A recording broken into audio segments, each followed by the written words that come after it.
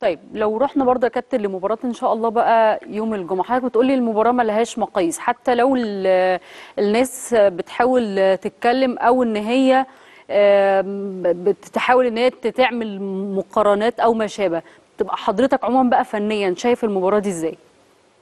لا هي المباراة يعني آه، أهم حاجة نمرة واحد رؤية كل مدير فني للفريق الآخر مم. يعني نقط الضعف ونقط القوة بتاعتك لعيبتك تشكيلك إن أنت هت- هتعمل التشكيل بتاعك والتشكيل ده بيفرق جدا والتبديلات بتفرق جدا آه، مين الأصلح للمباراة مين القريب للمباراة مين اللي الفورمة بتاعته ابتدت تبقى كويسة وجاهز نفسه كويس آه، ده كله بتفرق مع المديرين الفنيين.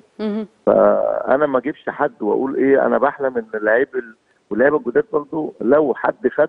أنا يعني أنا بصراحة يعني بقول ربنا يساعده ويبقى معاه من اللعيبة الجداد. إن ما فيش حتة الانسجام ممكن لعيب جديد يطلع يقول لك أنا أهو.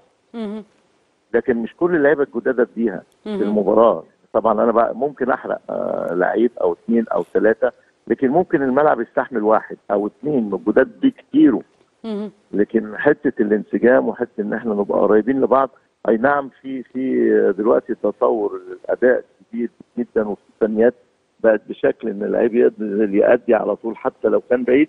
لكن برضه مش في مباراة مصريه زي دي أو مباراة هامة زي ديت اللي هي السوبر يعني.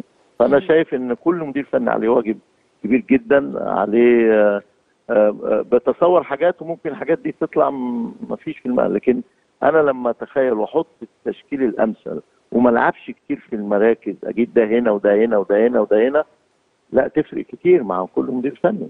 إن أنا كل آه، حاجة زي كده وأشوف التشكيل الأمثل. طبعا. في ناس تقدر تشكيل يبوظ الدنيا. صح.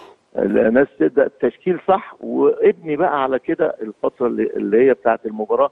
قسم أوقات المباراة لرؤية أنت زي ما تقول مثلا بتدير بقى بندير حاجة حاجة سيمفونية كده حلوة. طب ده طلع طب الفرقة دي لعبت إزاي آه، أو بتلعب إزاي طب أنا اقفل ديت طب. أنا هاجم من ناحية ده كله شغل مدير فني طبعا والجهاز بتاعه برضه فأنا مم. شايف إن دي آه، مهمة جدا جدا لل آه، للجهاز الفني والمدير الفني لنادي الزمالك ونصيحتك إيه يا كابتن برضه للعيبة؟ اللعيبة ده حدث وده حدث كبير جدا نصيحتي إن هم كل ما عندهم يطلعوه في. المباراة ديت إن العالم كله العالم العربي أو المملكة العربية السعودية تستضيف حدث جامد زي ده فطبعا دي حاجة جميلة إن ال ال ال ال بتت- بتتعمل في أجواء إحنا كنا في جنوب أفريقيا. بتتعمل في أجواء عربية جميلة آه، في بلدنا الثاني المملكة العربية طبعا. السعودية فأنا شايف إن إن ده لازم حتى الأداء وانطباع اللعيبة وال وبرضه اللعيبة عليها دور كبير إن إحنا نعمل إخراج كويس للعيبة المصرية وقطبي الكبار بين الزمالك والأهلي.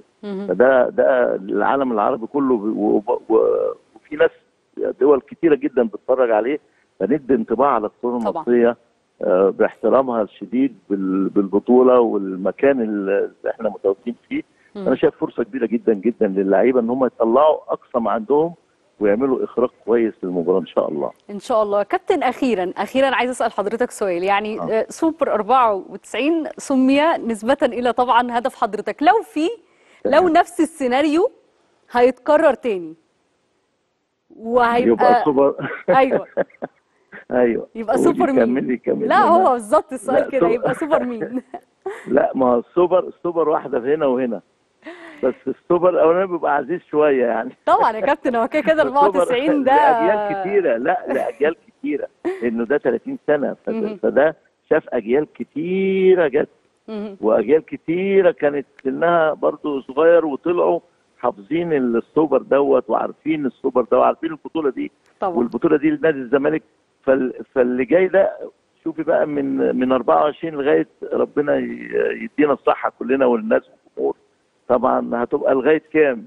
فبالتالي في أجيال برضو دلوقتي هتاخد من يبقى ده سوبر 24 هي نشوف بقى الأجيال اللي جاية إن شاء الله بإذن الله. مش عايز تقول لي اسم من الجيل الحالي آه، تتمنى إن شاء الله يسجل يا رب إن شاء الله يوم الجمعة؟ والله أنا أتمنى أتمنى طبعا إن آه، يعني أي حد ربنا يوفقه في نادي الزمالك إنه ده برضو الاسم ده وكل واحد يبقى يبقى عنده العزيمة والاصرار إن هو يبقى العريس بتاع البطولة بتاعت 24 يا إن رب دي طبعا آه، تاريخ وبيضيف لنفسه حاجة كبيرة جدا والناس يكفي إن هي تفتكرك بعد سنين طويلة زي ديت يعني.